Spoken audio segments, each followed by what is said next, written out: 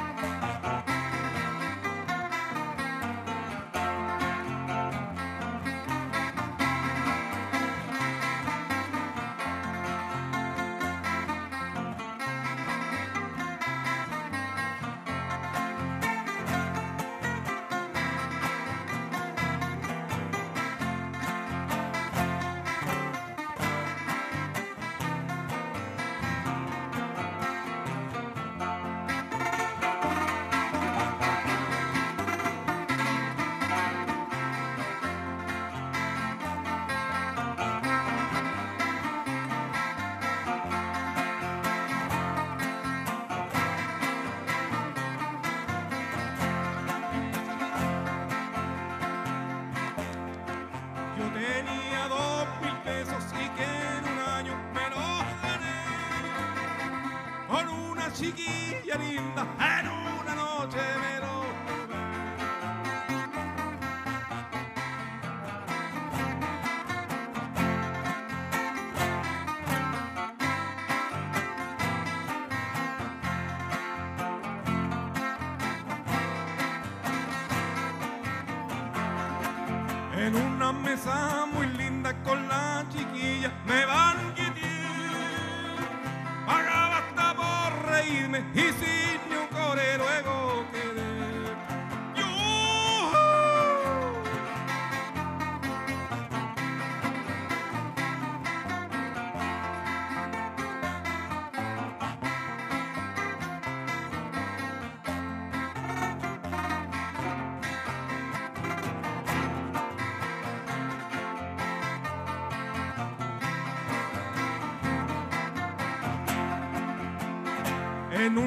cama muy linda con la chiquilla yo me acosté.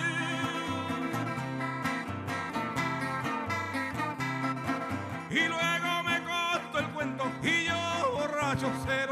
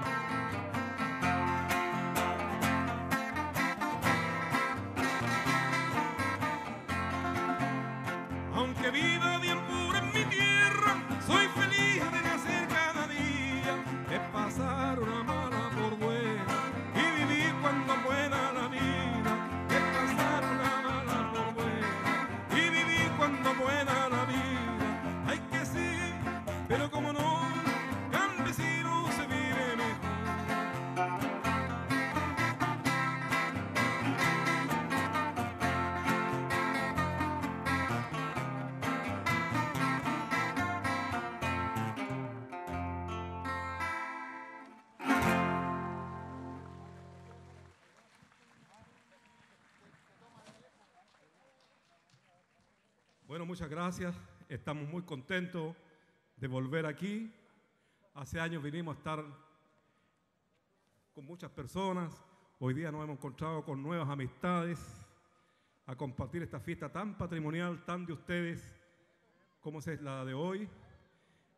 Y nos alegra que se invierta plata en la gente, en este tipo de actividades. Hoy día yo lo conversaba hace un rato con el señor alcalde, que la gente se siente valorada y eso es lo más importante. Los artesanos, la gente que está ofreciendo la variedad de platos chilenos, de comida, porque estas fiestas, ¿no cierto?, son nuestras, son chilenas y eso es lo lindo, subirse por un peral y bajarse por un guindo, acostarse con la María y amanecer con Galindo. ¡Vamos allá!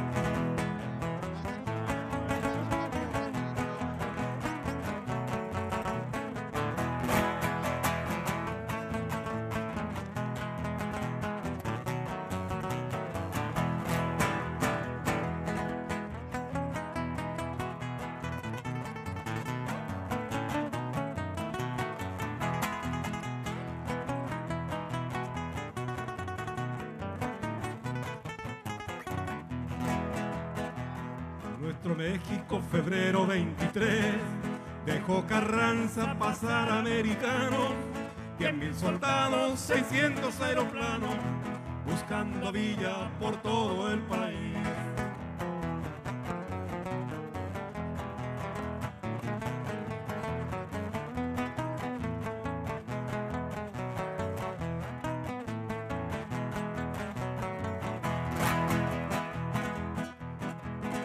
a caballo no se podían sentar y los de a pie no podían caminar.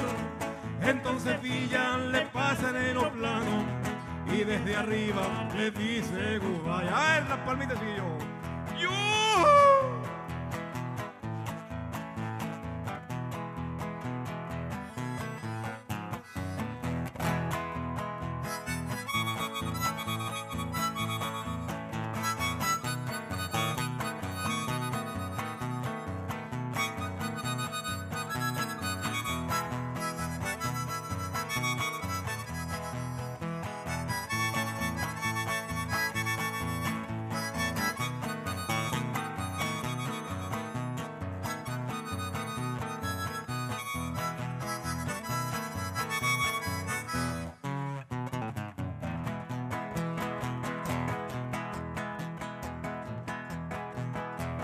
Vieron los gringos las banderas que Pancho Villa en los postes le colgó, se bajaron con todo y aeroplano y Pancho Villa prisionero los tomó.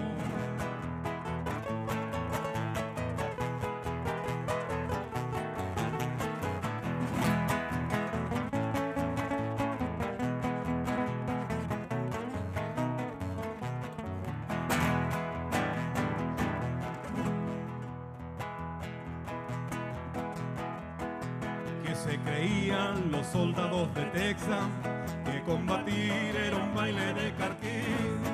Con la cara llena de vergüenza, se regresaron todos a su país. A ver, las palmitas y yo.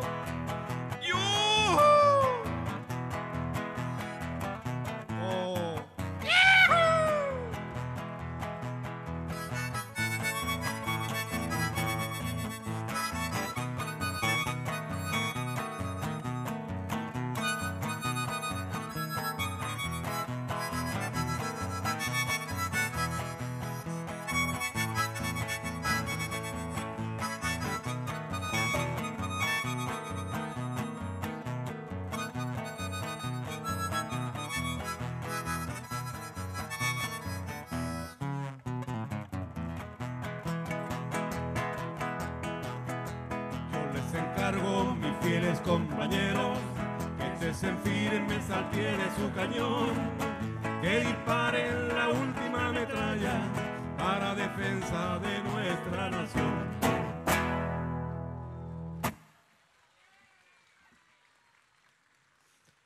Bueno, nosotros venimos del mundo del campo, aunque yo le paso el dato a los jóvenes, tuve la suerte de no contar con los recursos de mi mamá para que estudiar, por lo tanto me las tuve que batir solo y con estas dos manitos fui a la universidad y no me ha ido nada tan mal. Ahora que hay tanta facilidad para estudiar carreras de nivel medio, así que pónganse a estudiar jóvenes porque lo más lindo son los libros. Y yo, aunque vengo del mundo campesino, no se me ha olvidado un ápice de mi lenguaje, de la cosa del campo. Por lo tanto, de eso vamos a hablar esta tarde un poco, porque los viejos de campo casi en todo Chile son iguales. Son medios callados, van repitiendo lo que uno les dice. Buenas tardes, amigo. Buenas tardes. Puta que ha estado helado, ¿no? Sí, ha estado helado, oiga. Pero ha estado malo el tiempo, ¿no? Sí, malo el tiempo. oiga. Ojalá que se arregle, ¿no? Sí, pues ojalá que se arregle. Yo este un cuento viejo, lo vengo contando tantos años, cuando le fui a hacer el cerco a mi mamá y busqué al chunda. Ese es un primo que repite todo. Yo le dije, oiga, primo, quiero hacer un cerco a mi mamá, ¿por qué no me acompaña? Claro, me dijo, yo lo acompaño, yo lo ayudo. Lo voy a hacer el cerco, le dije, lo voy a hacer de astillones. Puta, me dijo, bien le va a quedar. pues. Pero no tengo nada los astillones, lo voy a hacer de alambre mejor. Me dijo, también le va a quedar bien. Oiga, le dije, ¿qué pasa si, mejor lo hago de tabla? Puta, me dijo, las te va a quedar más bonito. Ahí sí que le va a quedar bien. le cuento la firma y le dije, primo, ¿sabe que no tengo ni la plata ni, la, ni los materiales? Lo voy a dejar así nomás. Claro, me dijo, si nunca ha ido por donde déjelo así nomás, pues me el viejo lindo. Y, y estos viejos es común encontrarlos en el campo. ¿ah? Se meten la mano a la cartera y conversa con usted y no se la sacan. Buenas tardes, amigo. Buenas tardes. ¿Usted que tiene lindos animales? Sí, hay animales acá. Y harto sembrado también aquí. Sí, pues harto sembrado acá. ¿Usted que da trabajo el campo, no? Sí, uh, da trabajo el campo, oiga. ¿Y tiene oveja? Sí, sí hay oveja. ¿Cuántas cabezas? Una por cada oveja. ¿Y corderos tiene? Sí, corderos tengo. Grandes. Para no sacarse la mano a los carteras. Hasta con la boca conversan. ¿Y a dónde está trabajando? Vaya para abajo. ¿Y vive ahí mismo todavía? No, dijo, ahora estoy viendo, oye, para arriba estoy viendo. Entonces, si nosotros queremos aprender cosas de la vida, miremos hacia el mundo campesino. Porque el viejo de campo será, como ustedes ven, pero es un viejo parejo, viejo trabajador, respetuoso. Cuando hace una fiesta, la hace de verdad. Cuando quiere un amigo, lo quiere de verdad. Y si usted va para su casa, no, falta ni agua con harina que le va a dar. Y sobre todo en esta zona que es una zona vinera, no le van a dar café a usted, pues no. Allá le dan vino a usted con harina. Y aquí le dan café, puta, lo, puta que estamos lindos. Yo, yo, yo me cachiborré, profesor, yo le dije, vamos, vamos a pelar, puta, me dijo, allá zona de bueno vino, sí, pues bueno, tráigase algo, ya estamos. Así que me guarda la tacita de la mañana. Puta, los viejos lindos. Por eso, estimadas jóvenes, señoras y señores, el mundo campesino es inagotable. Y a mí lo que más me llama la atención es cómo la gente campesina resuelve sus propios problemas. Yo siempre nombro de mis tíos, porque mi tío, mi tío Raimundo, mi tío Anselmo y mi tío Hilario. De los tres, el que más nombro es mi tío Anselmo. Porque el más callado todo era mi tío Raimundo, que trabajó hartos años allá en el Banco del Estado, en Villarrica. Claro que al lado fuera el banco, sí. Él trabajaba vendiendo mote con huesillos fuera el banco. Pero igual hizo un convenio con el banco que estaba allá. El banco no vendía mote con huesillo adentro y mi tío tampoco prestaba plata afuera. Pero mi tío Anselmo era el viejo más lindo que había porque era un viejo como, como que era el centro de la familia de la comarca y de Playa Linda. Mi tío era componedor de hueso, era rezador de velorio, era bueno para la guitarra, para los versos y otras cosas más. Entonces como que ahí se desarrollaba todo. Y en esa casa de mi tío Anselmo trabajaba la señora Sara Almonací, señorita, 40 años, según dicen, entera todavía. Y los que se ríen porque se sabe que lo que... Entonces, la señorita Sara Almonacid era como parte de la casa porque le había ayudado a criar los cabros a mi, a mi tía, a la señora de mi tío, o sea, era parte de la familia. Pero mi tía era las viejitas esas que miraba de ajo el agua y un día se le puso de que mi tío se la estaba clavando con la señorita Sara. Y usted sabe que la mujer chilena cuando se le pone una cosa entre ceja y ceja, usted no la saca de ahí. Por eso, estimados amigos, jóvenes y viejos, nunca usted discuta con la mujer chilena. Tiene dos posibilidades, que ella tenga la razón o que usted esté equivocado. Y mi tía era eso. Entonces mi tía se le puso de que mi tío Anselmo andaba con la señorita Sara. Y mire cómo es, pues las mujeres son diolazas. Urdió un plan siniestro le dio dos días de permiso a la señorita Sara que fuera de Villarrica a ver a sus parientes. Y ella se caló en la pieza donde alojaba a la señorita Sara a esperar al león. Como a las diez y media de la noche sonó la puerta, porque estamos hablando en tiempo que no había ni luz en el campo, sonó la puerta, crujió la puerta y entra el león. Y ahí todo pasando, hasta el momento de los y todo. Cuando ya todo terminó, en la oscuridad se escuchó una voz que dijo que era mi tía desgraciado, no esperabas encontrarme aquí, ¿verdad? Y se escuchó una voz que dijo, para serle sincero, la verdad es que no, patrona.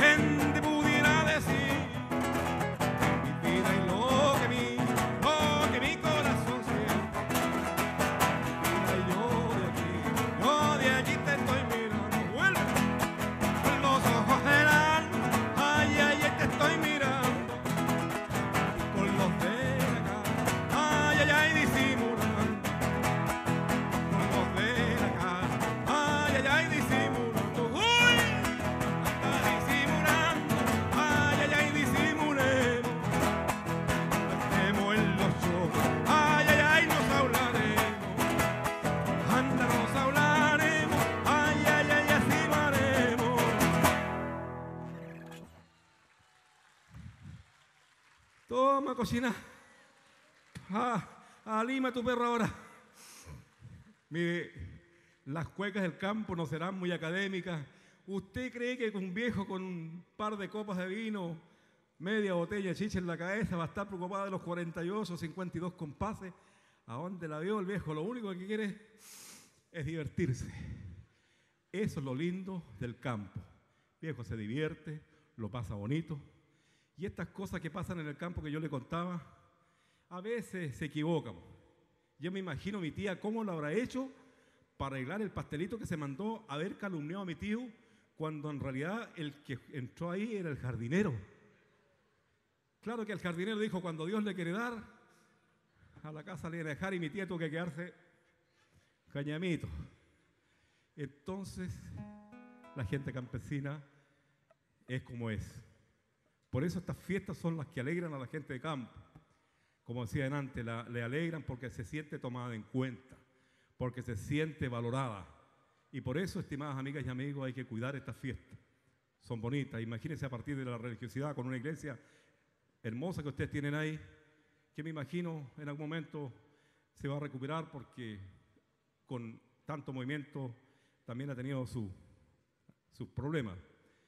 Así que continuando con esta conversación, yo más tarde, más adelante, lo hablar de mi mamá y seguir hablando de mi tío, viejo lindo, mi tío era, era, un, era un, mi tío era un plato. Pero cuidado, mucha gente del pueblo piensa que los campesinos, porque son del campo, son viejos que no saben dónde están parados. Mentira. Hace menos de dos años, un cabro de la Universidad de la Frontera, de la UFRO, de la SUFRO, cuarto año de ingeniería, fue donde mi tío Anselmo a pedirle ayuda. Calculen, ¿quién lo podría ayudar a un, hombre que tiene apenas sabe leer? Y el cabro está estudiando cuarto de ingeniería. Sin embargo, fue para allá. Buenas tardes, don Anselmo. Buenas tardes. Venía a ver si me podía ayudar. ¿Cómo no, joven? Pase adelante. ¿De qué se trata? Mire, le dijo, tengo una tarea, a ver si me ayuda. Claro, aquí lo ayudamos. Mire, eh, la tarea es así. ¿Qué está más lejos, Santiago o la Luna? Y mi tío le dijo, repítame la pregunta, por favor. Mire, ¿qué está más lejos, don Anselmo? ¿Santiago o la luna? Mi tío se acomodó el sombrero y le dijo, mire, joven, ¿usted de aquí ve Santiago? No. ¿Y la luna la ve? Sí, ya, pues le dijo, piense un poquito. Pues. El viejo lindo, ¿se fija usted? Por eso la gente campesina vale oro, yo. Ya. Oiga, y mi tía yo le saco el sombrero porque mi tía representa a la mujer chilena y la mujer chilena, para que ustedes sepan, del mundo es la más linda del mundo. Porque la mujer chilena, ¿saben por qué? Porque es compañera. El viejo sale en la mañana, a veces a jugar fútbol, a las carreras, llega embarrado, curado como huasca, y la mujer ahí con los cabros batiéndosela, lavándole la ropa al caballero para que mañana vaya a trabajar. Sin embargo, lo acompaña. Y además Toda mujer, la más humilde, es limpia. Se echa su manito gato antes de salir. Es digna. Por eso yo represento a la mujer chilena en mi tía, que un día mi tío estaba enseñando el caballo y entonces, puta, ni mi salida ni salía, me queda apretado. ¿Cómo puede ser, don Víctor, ahí tan apretado, don Víctor? ¿Cómo a tomar café? Siendo el vino patrimonio chileno. No, son mentiras. Nosotros estamos café aquí arriba. Estamos arreglados. Bueno, entonces, diga. ¿Ah? Con Valicia. Bueno, mi tía estaba. Mi tío estaba sellando el caballo y llega mi tía y se le gana al lado. Viejo, ¿qué querés, mujer? Porque el hombre campesino no es decirle mi amor a la mujer. ¿Qué querés, mujer? ¿Vas para el pueblo? Sí. Quiero hacerte un encargo, viejo. ¿Qué querés? Si me pudieras traer un parcito sostene que estoy tan pobre, sostene. Oiga, ustedes se ríen, para uno es complicado. Oiga, uno le encargan, uno no sabe si son marca Chuf, marca Flores, Intimide, de copa de media copa. No, lo que dice la literatura, no más profesor, no esté riendo usted tampoco. Calcule para un viejo de campo como mi tío. Llegó a Villarrica y al Cometa, ahí venden esas cuestiones. Puta, mi tío llegaba a transpirar. La niña le dijo, ¿qué se le ofrece, señor? Señorita le dijo, ¿por qué no me trae un lápiz y un papel de algún dibujo? La cabra le trajo una hoja de papel y un lápiz, mi tío le hizo el dibujo. Puta, la cabra entendió el tiro. Fue para adentro y volvió con un par de gafas. Entonces, convengamos en que la gente de campo es la más linda que hay, ¿verdad?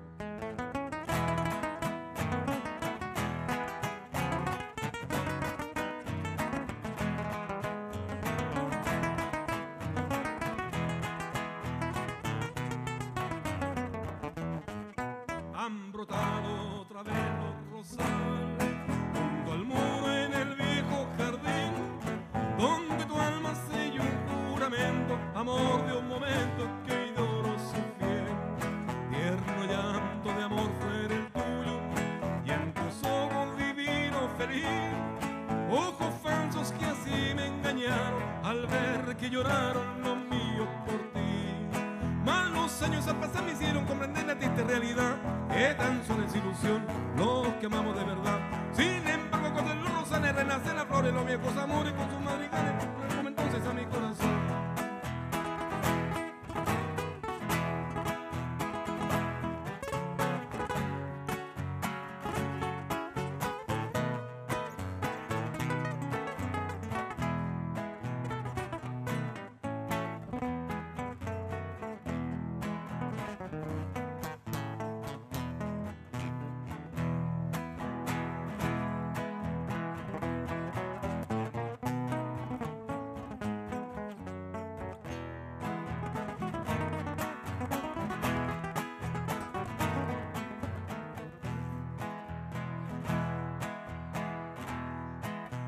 Tenía razón mi tío, puta que es linda la guitarra. Él me decía, mire sobrino, cuando usted haga la guitarra, hágala a pedazos. Porque la guitarra es igual que una mujer. Hay que tomarla fuerte, pero con ternura, con delicadeza, con respeto. Yo no sé si con tanto respeto, ¿ah? Porque mi tía siempre decía que el buen guitarrero se tenía que mojar la mano. Porque con la mano mojada corre suavecito por las cuerdas para abajo con la guitarra. Mire.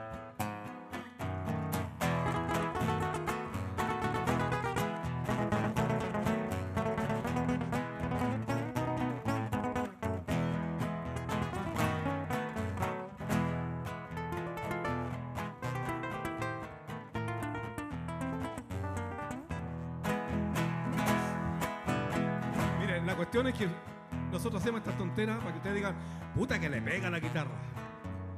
Es puro chamullo. Es como cuando mi tío hacía un asado y decía, sobrino, me hace un asado, no hay nada, mucha carne, pero puta que le vamos a poner juego a la cuestión. Esa es la idea. La vida, estimados y amigas y amigos, consiste en eso, en ser optimista, ponerle color a la vida, como dijo mi tía, y fue a pintar el cementerio.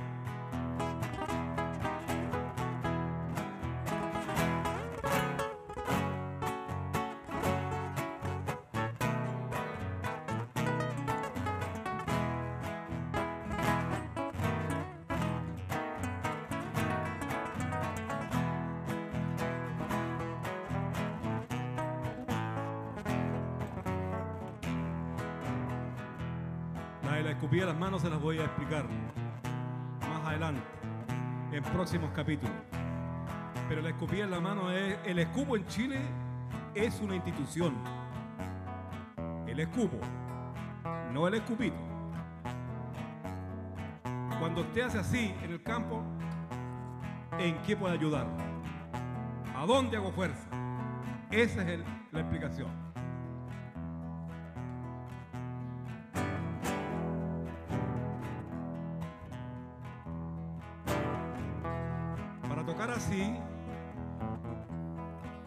Quieran tocar así tienen que mojarse un dedo. ¿ah? Si quieres se mojan dos.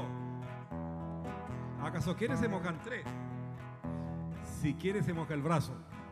Lo importante es que toque la guitarra con empeño, con respeto, con ternura y con fe.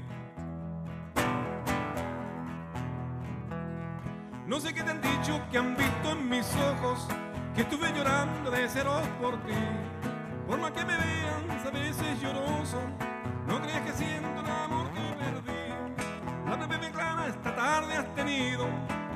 Con otro por verme sufrir.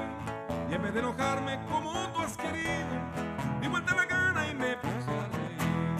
Si yo no logré que por tu cariño que yo no perdido, no vale la pena dar más lágrimas por un amor. Ya lloré bastante cuando imaginaba que lo olvidaría. Antes sí lloraba, pero ya no lloro por tu corazón. Pero sí recuerdo de que en un momento en que me decía que me amas mucho con todo el cariño de tu corazón.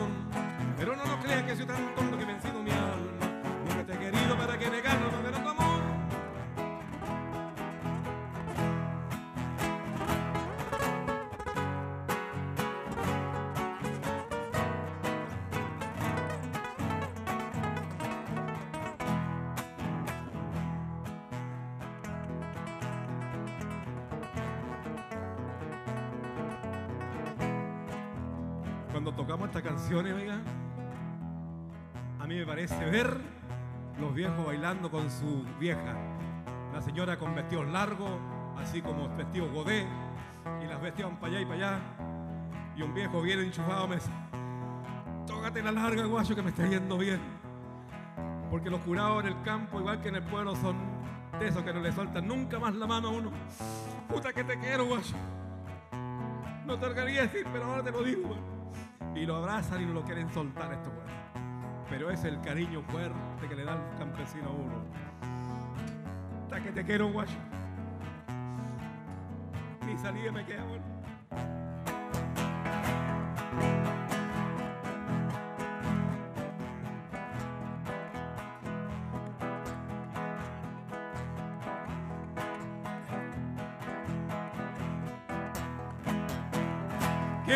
¿Qué más te puedo dar de la alma?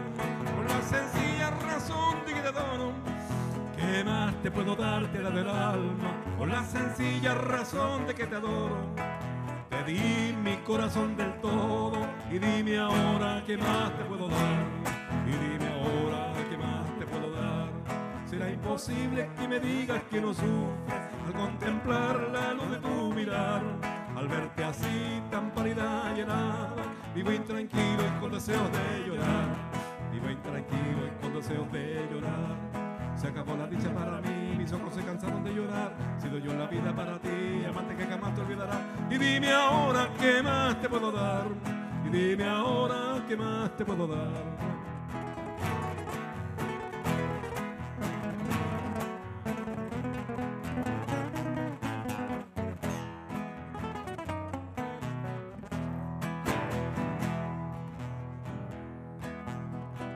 Si me quieres, ¿por qué me martirizas? Al extremo de hacerme soñozar. Si me quieres, ¿por qué me martirizas? Al extremo de hacerme soñozar. Hoy me amas, mañana me abandonas. No es así como yo te quiero amar. No es así como yo te quiero amar. Será imposible que me digas que no sufres al contemplar la luz de tu mirar. Al verte así tan pálida y helada Vivo intranquilo y con deseos de llorar. Vivo intranquilo y con deseos de llorar. Se acabó la dicha para mí, mis ojos se cansaron de llorar. Te yo en la vida para ti, amante que jamás te dará. Y dime ahora qué más te puedo dar. Y dime ahora qué más te puedo dar.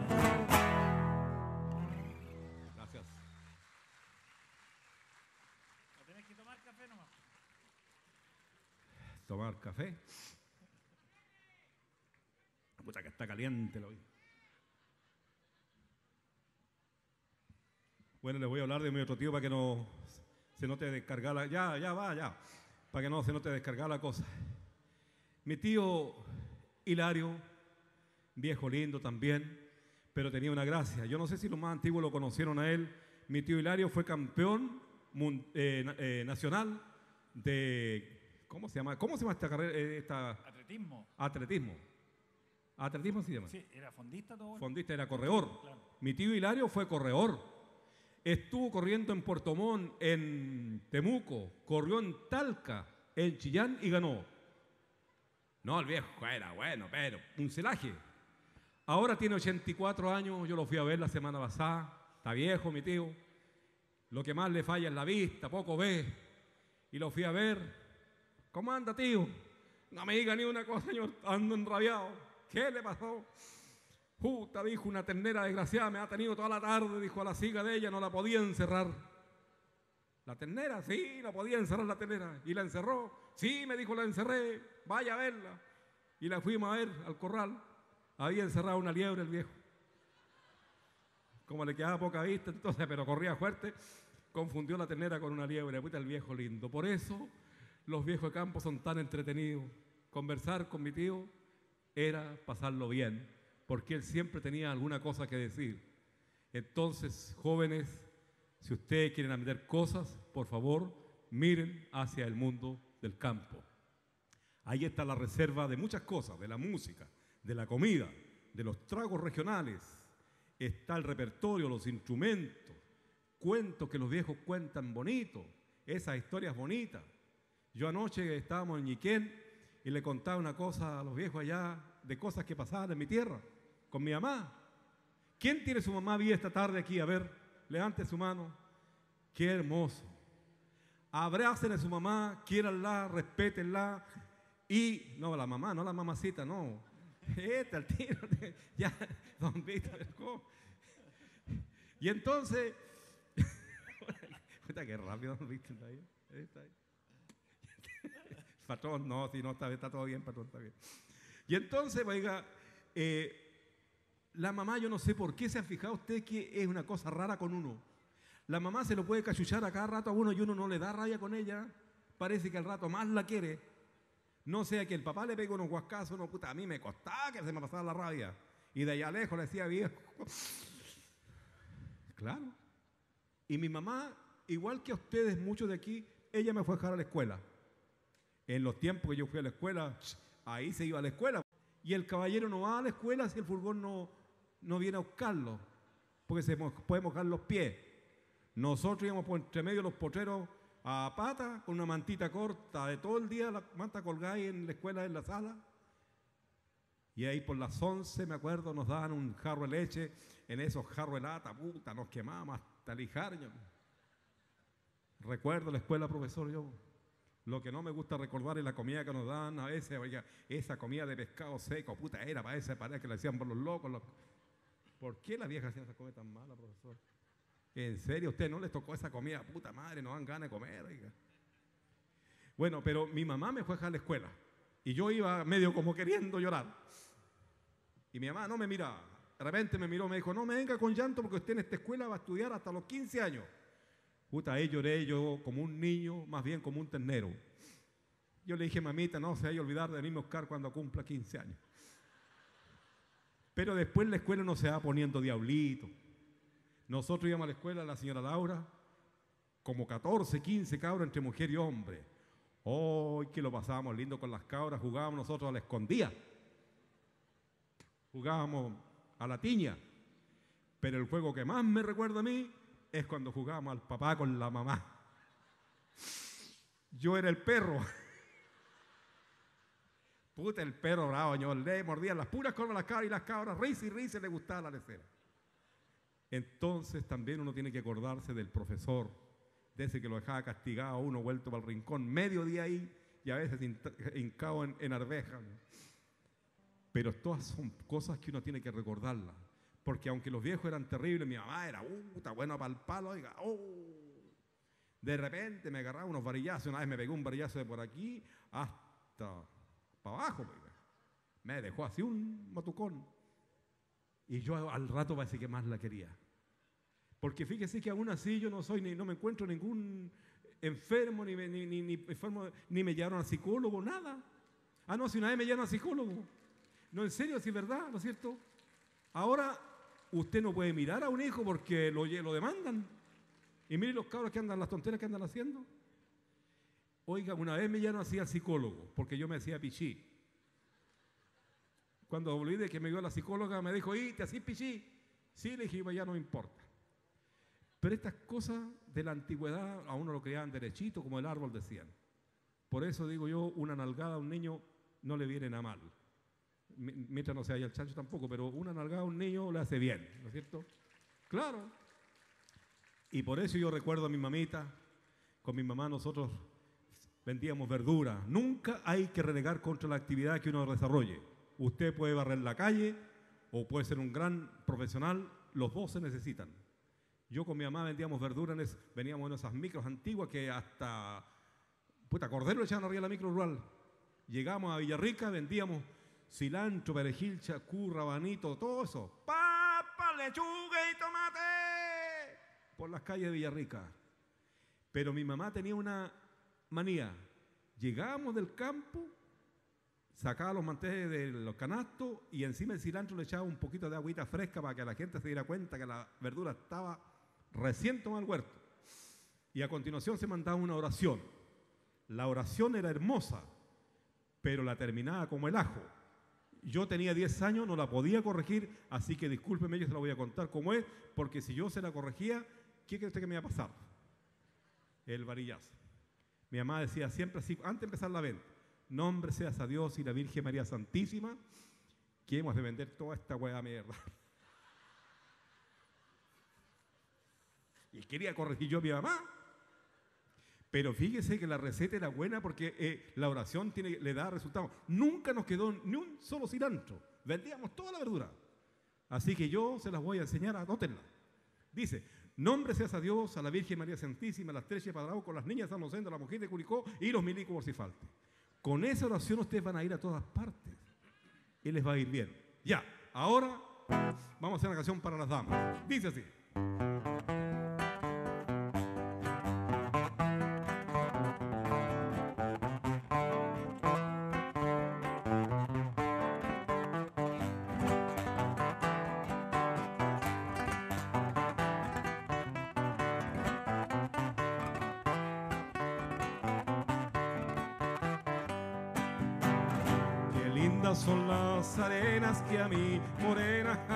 Acariciarán. Y el agua cristalina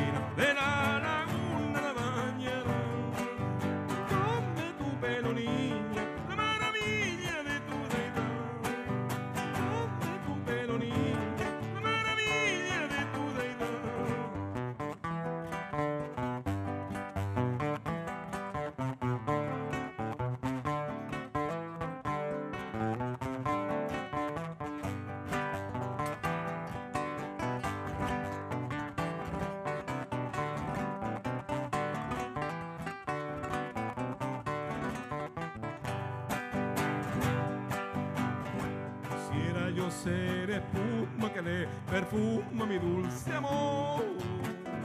Quisiera estar en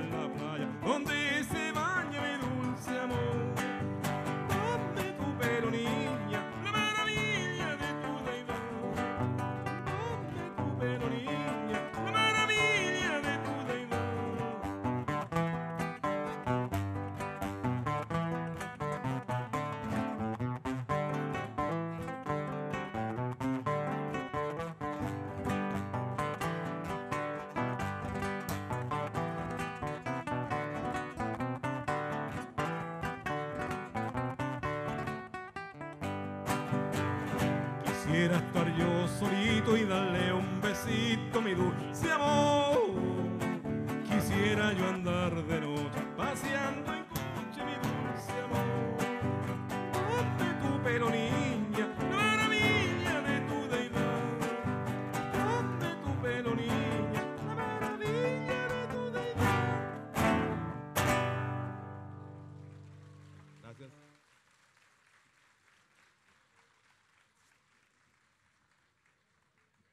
Bueno, hay un montón de historias que uno puede contar re- relacionadas con el campo y hay ciertas cosas que yo podría perfectamente disfrazarlas. Pero mire, yo he creído en la vida lo auténtico, lo genuino. Y esta es la forma en que uno eh, presenta estas cosas en el escenario. Cuando yo hablo del lenguaje, no le estoy faltando respeto en absoluto a nada, solo estamos poniendo en la mesa algo que es nuestro y que tiene que ver con la comunicación. Eh, por ejemplo, cuando yo hablo de mi tío, la forma de hablar de él, la forma de hablar de mi mamá, y todas cosas tienen que ver algo con lo, con lo real. Fíjese que yo le voy a contar una historia bonita, vamos a tocar el acordeón ahora, pero vea usted cómo la gente en el campo ve la forma distinta de la gente en la ciudad. Yo me acuerdo que allá estaba, era harto popular la radio en esos años, como aquí me imagino también, aquí yo me acuerdo de la radio regional de Talca, la radio Portales de Talca, la radio Paloma, son, llegaba muy fuerte al campo. Bueno, allá llegaba la radio cooperativa, algunas partes, y fueron una vez unos viejos de INDAP, hicieron una reunión con los campesinos y la reunión tenía que ver de cómo los campesinos podían sacarle mejor partido cuando sembraban papa.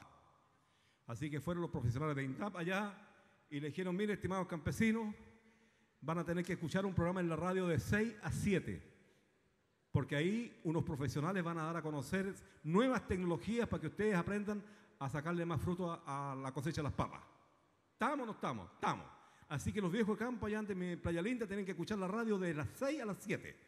Nosotros vamos a volver en 15 días más para ver qué aprendieron ustedes en el programa de la radio. ¿Qué les parece? No, dijo, está bien. A los 15 días los de INTAP están como estaca ya. Y se juntó puta harta gente, como aquí, para reunirse con los profesionales. Fueron autoridades, el alcalde, fueron los concejales, puta, todo andaba, la televisión, todo. Bueno. Entonces los de, los de INTAP dijeron, bueno, queremos que alguno de los campesinos de aquí hable en representación de ellos. Todos dijeron que hable mi tío. Y mi tío se paró frente al micrófono y dijo así. Eso era todo lo que había aprendido. La radio no llegaba a Playa Linda porque nadie se fijó que esas cosas pasaban, ¿se fija usted? Entonces uno las recuerda de una manera graciosa, ¿verdad? Y yo recuerdo esas noches largas en la cocina juegón, los tizones a medio quemarse, le dan la luz roja en la cara a uno. Y nosotros escuchábamos los México en la noche. En la radio, una radio de, con cuero ahí colgada, más estaba la radio. Y tocaban una canción que se llama la carta jugada. Quizás quién la cantaría.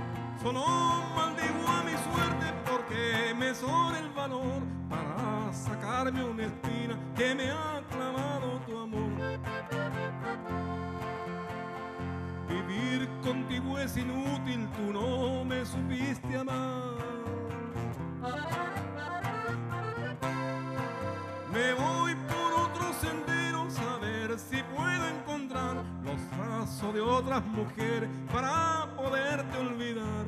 Y usted tiene que hacer así.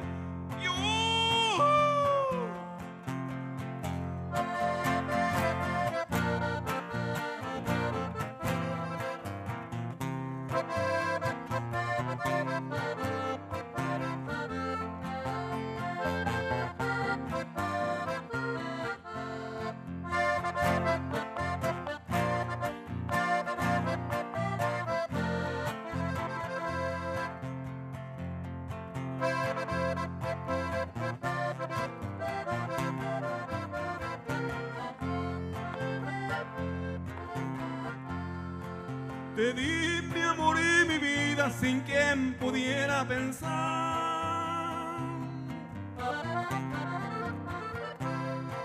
que tú eras carta jugada que no se debe apostar. Por eso cuando gané, perdiste sin regresar.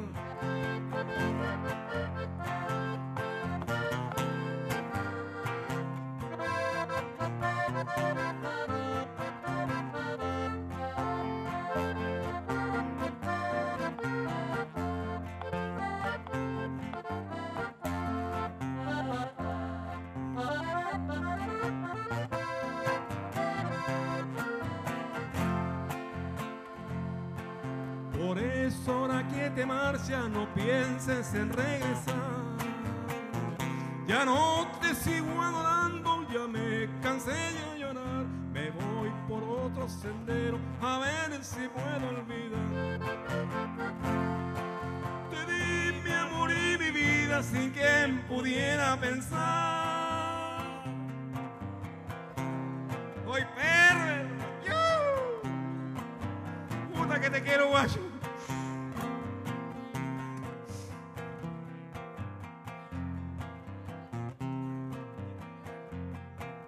Que tú eras carta jugada que no se debe apostar. Por eso cuando ganaste te fuiste sin regresar.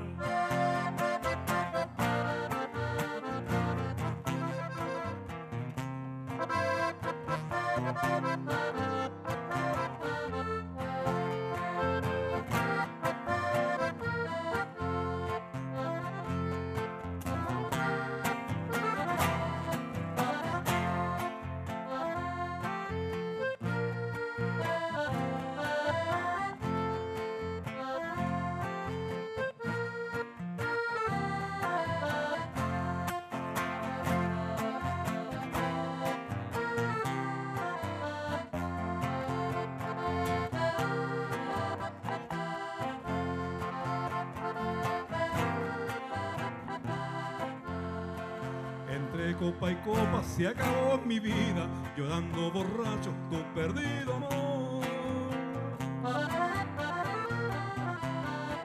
Que negros recuerdos me traen tus mentiras, como cuesta lágrimas una traición. Traigo penas en el alma.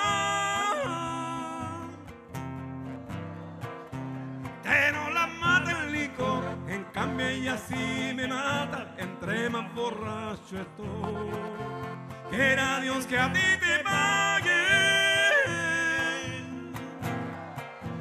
con una traición igual, para cuando te emborraches tú sepas lo que llorar.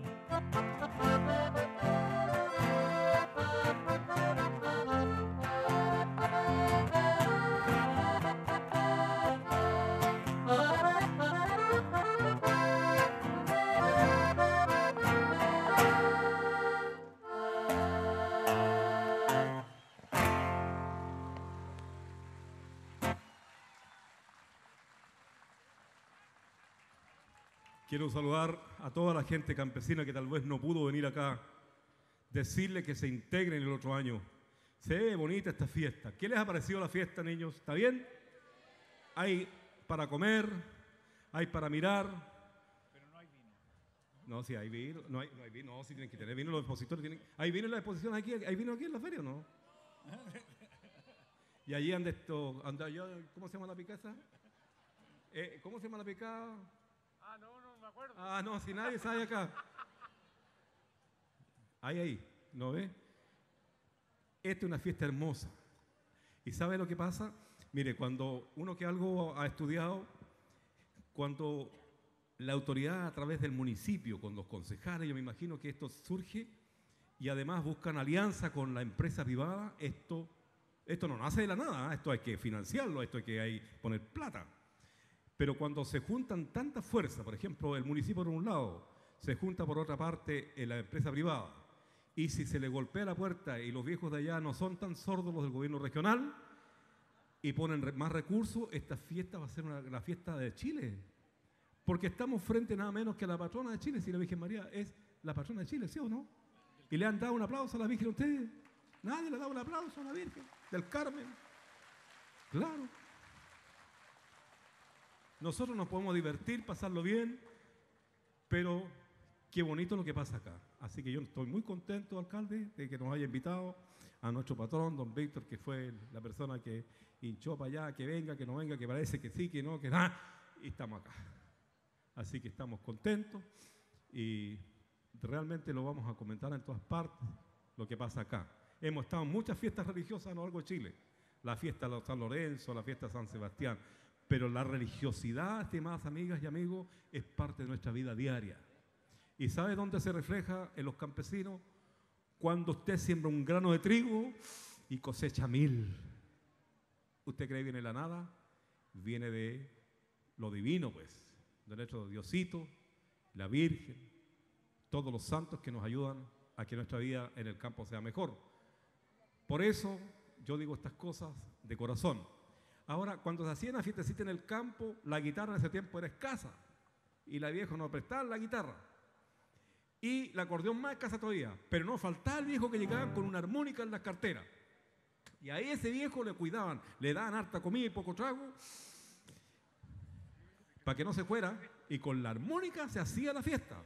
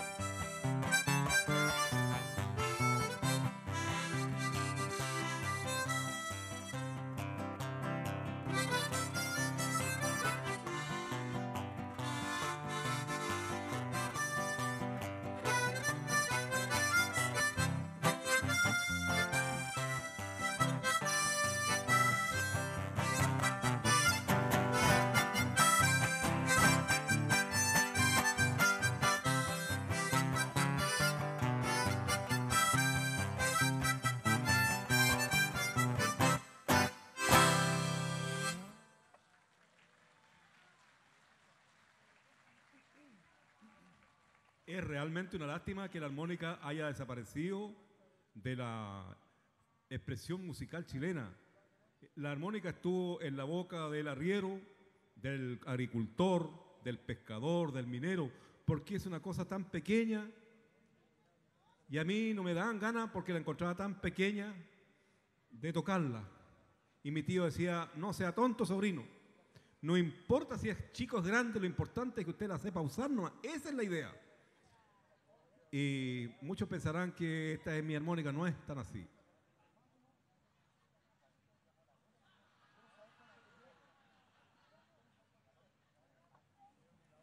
Se hace lo que se puede, hermano. Otra, otra de mi tío. Esta es buena. Mire, los viejos de campo tienen habilidades. Hay dos animales que son parte del trabajo diario del campesino. El perro y los bueyes. Puta, mi tío tenía una yunte, güey, cada güey pesaba 400 kilos. 300. 250. 150 abajo, 150 arriba. ¿Se han fijado los que trabajan en la feria animales y no se le entiende ni una? Parece el diario mojado estos güeyes. 50 abajo, 50 arriba. 50 arriba, 50 abajo. Me doy 50. 50. Y usted no le entiende nada. ¿Y cómo los viejos campos que no saben ni leer le entienden clarito? Tengamos respeto por el viejo campo. Entonces mi tenía una yunte güeyes y los güeyes los tenía enseñados porque mi tío trabajaba en el madereo. Mi tío tenía, tenía una garrochita corta así nomás, pero con la garrochita en la montaña dibujada con los güeyes.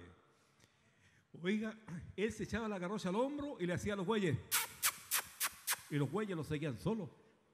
Se subía de la, carrete, de la carreta. Iba con los güeyes para que la carreta parara y los güeyes paraban. Esa es la forma de trabajar en el campo. Los animales los enseñan.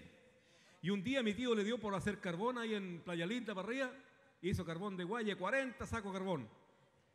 Así que dejó los güeyes en la quinta, la carreta cargada con los sacos de carbón, y al día siguiente se levantó a las 4 de la mañana, enyugó los güeyes, colgó su carreta, se tomó un jarro de café, como los güeyes le han enseñado, pescó la garrocha al hombro y hizo hacer los güeyes. Y se fue para Villa Rica. 19 kilómetros. Salió a las 4 de la mañana, llegó como a las 9 entrando a Villarrica. Y la entradita, carbón, casera, carbón. Y una señora le dijo, ¿a cómo saquito? A 800 pesos nomás casera. Estaba barato el carbón en ese tiempo. Deme dos saquitos. Fue a sacar los sacos y los güeyes no lo habían seguido nada. Puta el viejo lindo. Tranco y tranco con la garrocha al hombro. ¿Y cómo no hacía este cristiano volver a mirar para atrás y mirar los güeyes, los güeyes en la casa? Y él llegó con la pura garrocha al pueblo, dice. Entonces los viejos de campo tan bonitos. Fíjese que, mire, una vez mi tío en su casa, esa casa de campo, después de 30 años se le ocurrió pintar la casa. Y la pintó de azul y arriba del techo lo pintó naranjo. Y mi otro tío, que era más chico, tenía una casa bien parecida. Y pasó donde mi tío Anselmo y dijo, oye, Anselmo, puta, que te quedó bonita la casa, hombre. Le dijo, yo también voy a pintar la mía. Claro, le dijo mi tío. Oye, ¿cuánto tarro de pintura ocupaste tú? Diez tarros. Así que mi otro tío partió para el pueblo y compró diez tarros de pintura. Como a los 15 días aparecieron de mi tío.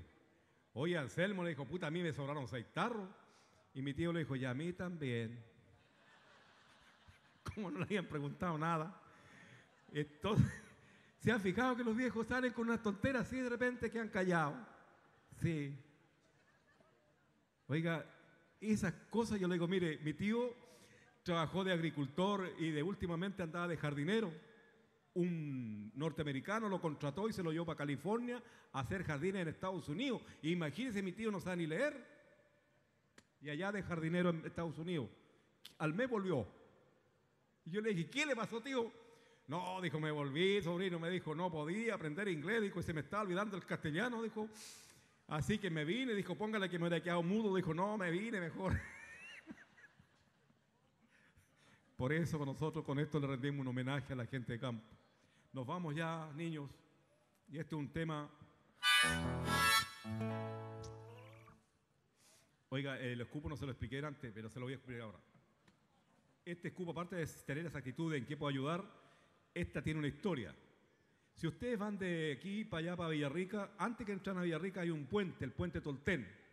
Y para abajo, como dos cuadras, hay unas mataquilas, al frente hay un guaye, ahí no es nada. Poco más abajo, ahí está el cementerio. Y una vez para Todos Santos andaba mi tío con cuatro amigos más, a, que, a los que van para Todos Santos, los Todos Santos, a dejar flores. Y después que pasan a Todos Santos, los viejos se pasan a pegar el quiñazo. Y mi tío se pegó unos quiñazos y dijeron, vamos a ver en los salmones del puente, se ven bonitos los salmones abajo. Ya, vamos a ver, con los amigos. Y un viejo se agacha, oiga, y no se le cae el sombrero al agua. Y del, del puente hasta abajo hay como 20 metros. Puta, el viejo ya lloraba porque era su sombrero. Así mi tío dijo, no, no se preocupen. Vamos a hacer lo siguiente, yo me voy a colgar del puente, el otro se cuelga las patas, el otro las patas, el otro las patas, hasta que lleguemos al sombrero y el último lo recoge. Ya está. Estaban en eso cuando iban como el seis viejo ya, y mi tío le dijo, espérese un poquito que me voy a escupir la mano. Esa es la historia de los cupos. ¿Se fija usted? Ya. Ahora nos vamos. Este es el tema que está de característica en un programa de TVN que se llama Fruto del País.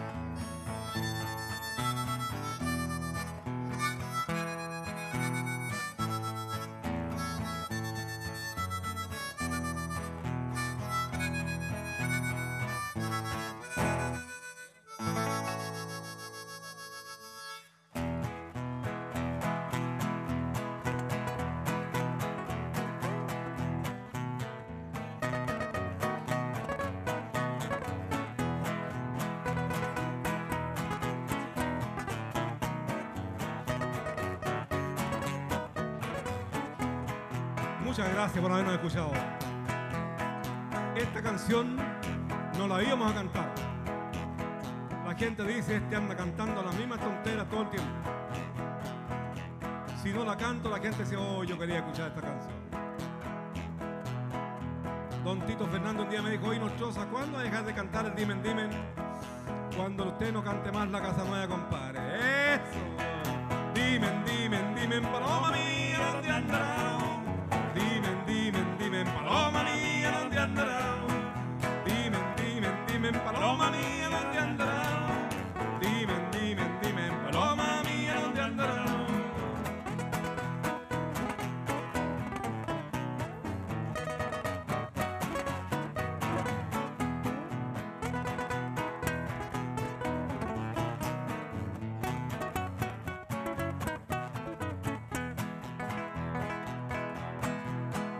Dimen, dimen, dimen, paloma mía, ¿dónde andará? Dimen, dimen, dimen, paloma mía, ¿dónde andará? El viejo y la pulga, bichingue, se quieren casar y no se han casado, bichingue, por falta de van. Respondió la hormiga, bichingue, de su hormiga. Siga la fiesta, bichingue, yo le pongo el pan. Que viva la fiesta, viva el casamiento, vivan a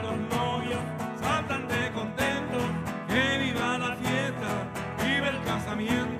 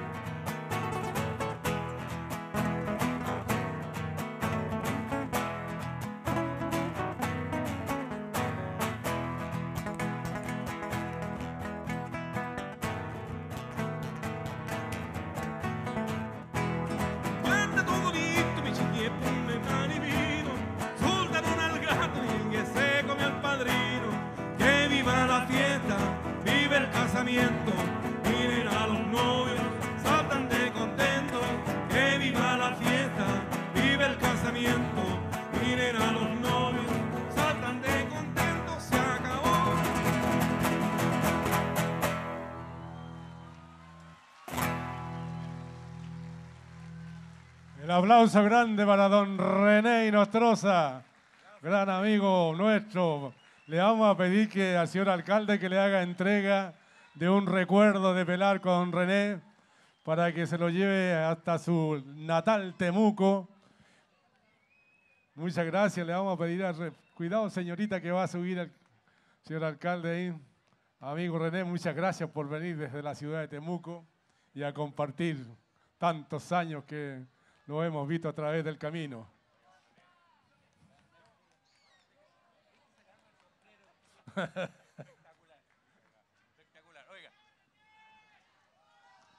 Don René Inostroza, gran, gran folclorista, tremendo, un aplauso. De pie, por favor, porque la verdad es que es un folclorista de primera categoría. La verdad es que es un orgullo tenerlo en este escenario. Nos deleitó no solamente con las hermosas canciones, nos deleitó también con la historia nuestra, de acá, de nuestra tierra. Fíjese que yo cuando ya subí al escenario, antes que empezara a cantar, yo dije voy a traerle dos lucas. Y usted me mató al tiro. Lo primero que cantó, las dos lucas. Después dije, ya estaba terminando, y yo dije, le falta el piojo y la pulga. Terminó con el piojo y la pulga. Pero falta la más importante, pues. ¿Cuál falta? La guaracha, el fai ¿Quién en los campos antiguamente, don René, no tenía un cassette?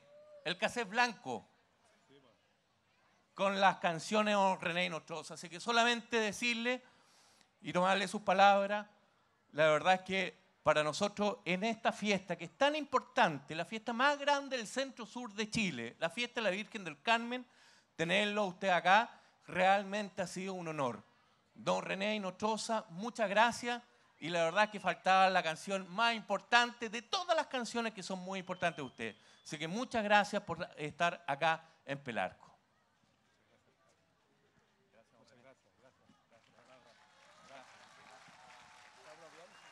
¿Sí? Oiga, qué manera, René, sin ponerse a llorar, ¿ah? Hasta que lo quiere la gente a usted. Bueno, y el guitarrista, ¿para dónde? Acá viene, mi guacho. Ya se iba ya, si le vamos a pagar, yo no se preocupe. Bien, pues el aplauso para don René para el último tema que nos va a hacer. Bueno, un par de cosas antes de despedirnos, decirle muchas gracias por eh, la acogida que nos han dado acá, de ustedes que son el pueblo y los invitados, gente de por acá, y a las autoridades en la persona del señor alcalde, de los concejales, y nuestro patrón, que fue el que nos contactó y nos dijo que teníamos que venir acá, don Víctor. Eh, así que muchas gracias por esta invitación. Decirles que nuestra propuesta es esa. Estamos apostando a una cosa genuina. Y total que mi tío vendió los huellas al final. Pues. Sí, no es verdad, en verdad. Y se compró una camioneta. Una camioneta 2.500 kilos. Pero mi tío siempre fue un viejo desconfiado él andaba manejando la camioneta y andaba con otro viejo al lado porque mi tío no confiaba en los espejos. Así que para que el otro viejo mirara para atrás. Mire, cuando mi tío se compró la camioneta fue igual que ponerle ruedas al, cuerpo. No llegaba a veces en tres días. Incluso mi tío me daba buenos consejos. Decía, mire sobrino, cuando usted se case y salga de fiesta, no vuelva nada mañana. Vuelva como los tres días porque ahí lo empiezan a echar de menos. Ahí hay que volver. Pero mi tío, oiga, se tomaba una semana a veces y no llegaba a la casa. Hasta que un día mi tía se lo agarró firme y le dijo a él, ¿por qué no llegaste anoche? ¿Y quién me? Le dijo, ¿y el viento que había? Le dijo anoche. Y bueno, y no andaba en la camioneta, sí, dijo, pero yo encendía las luces y el viento me echaba la luz para atrás. Viejo lindo. Muchas gracias. Nos vamos, dice así.